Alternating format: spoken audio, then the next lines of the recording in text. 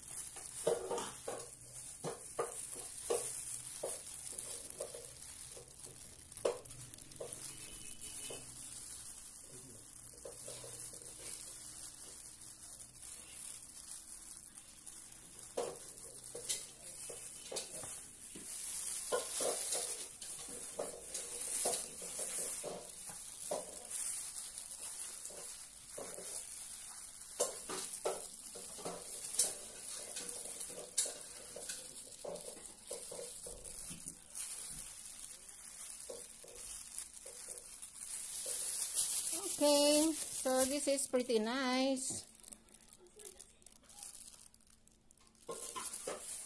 Thank you for watching. Next video, don't forget to subscribe, like, and share to my channel so you can be get uploaded for the next video.